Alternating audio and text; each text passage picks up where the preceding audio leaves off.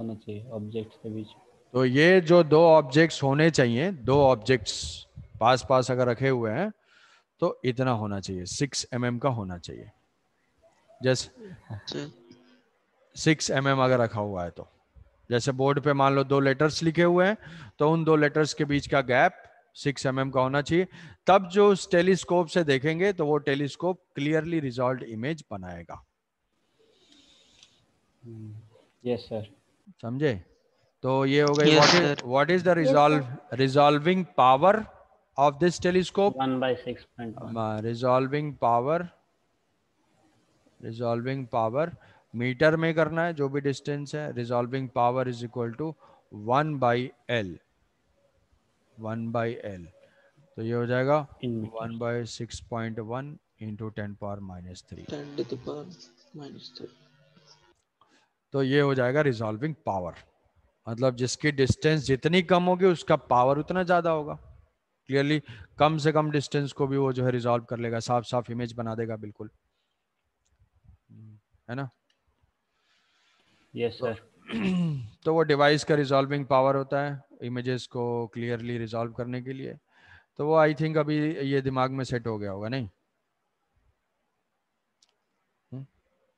Resolution hmm? समझ में आया हाँ सर सर ऐसा भी तो होता होगा दो स्टार के जगह में एक स्टार दिख रहा होगा हाँ, और, और साइंटिस्ट को पता भी नहीं चलेगा।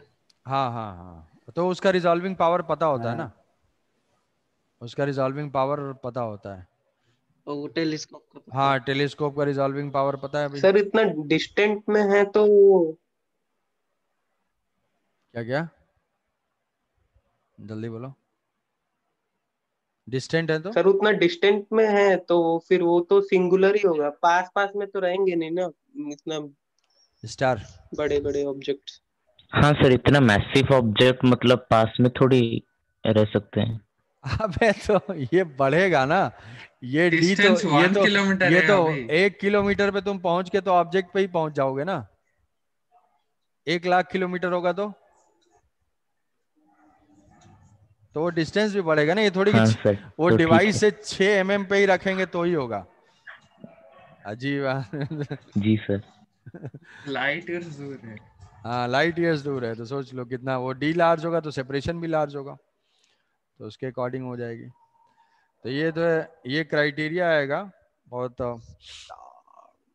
लो अबे कम खाओ इसी में आओ आओ कर रहे हो। ये तो अब है हमारा फ्रेजनेल रिजॉल्विंग पावर कांस्टेंट होता है। रिजॉल्विंग पावर हाँ एक डिवाइस का एक रहेगा।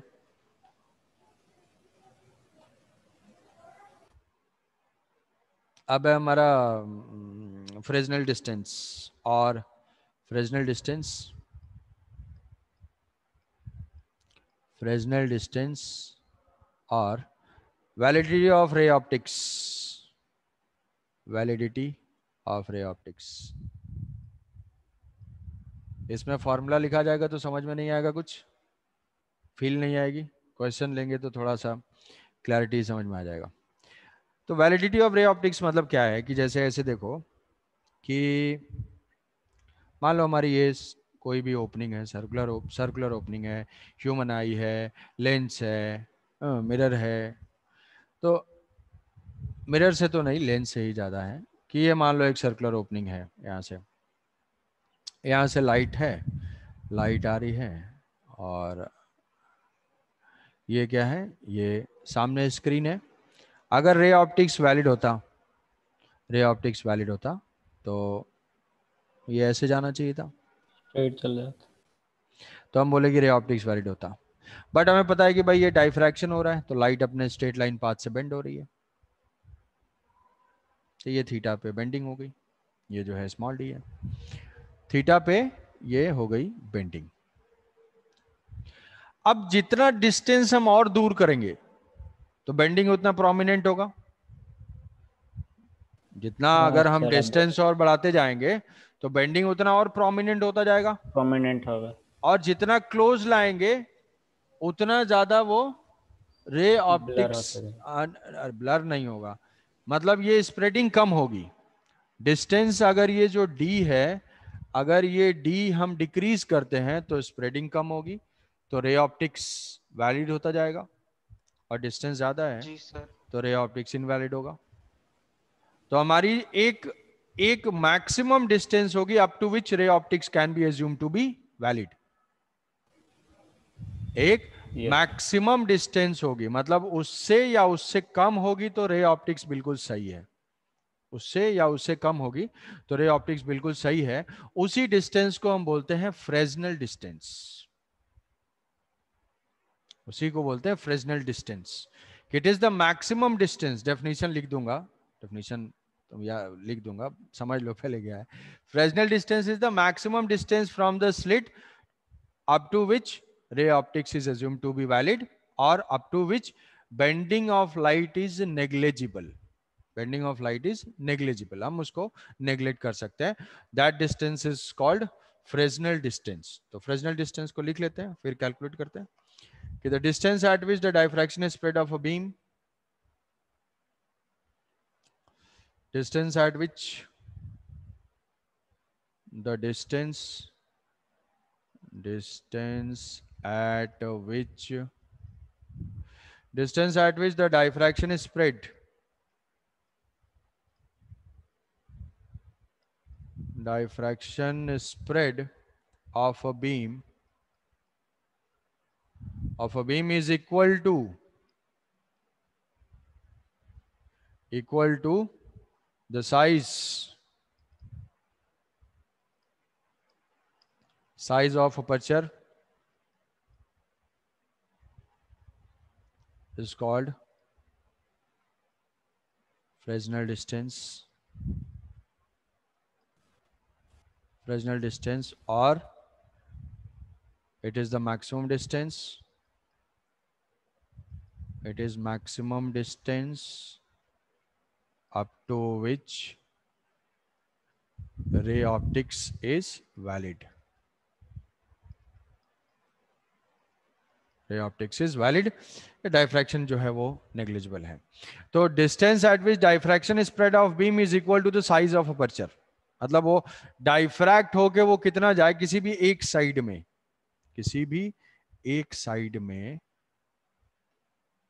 तो हम ये जो है कि अपने स्ट्रेट लाइन पाथ से जो डाइफ्रैक्ट होके जाए that is equal to the aperture size